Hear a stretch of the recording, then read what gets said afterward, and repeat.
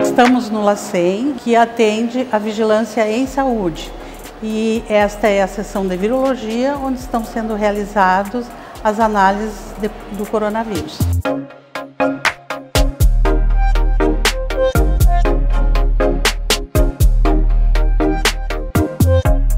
Primeira etapa é o, o, recebimento de amostras na virologia. Elas foram recebidas no recebimento do LACEN e são recebidas na virologia. Então, a partir daí é que conta o tempo né, para a realização do exame. A etapa seguinte é a extração do material genético do coronavírus. Então, segue para uma outra sala, né, uma área limpa, uma área adequada, uh, para iniciar então o processamento de extração do material genético. Ela vai ser submetida a reativos, a centrifugações e é a etapa de extração do material genético do coronavírus.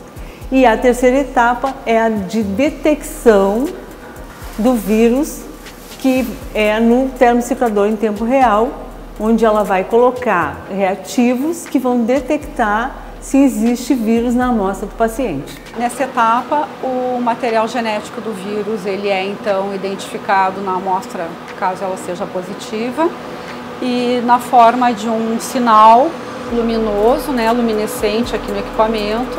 Aqui, ó, com duas curvas, dois sinais, né, duas curvas de amplificação representam um paciente positivo e um paciente negativo a gente tem ausência de curvas de amplificação.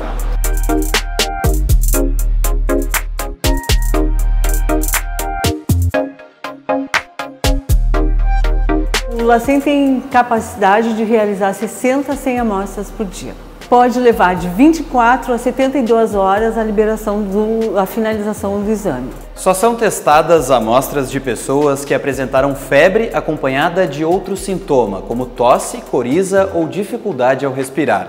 Essa mesma pessoa também tem que ter estado fora do Brasil nos últimos 14 dias.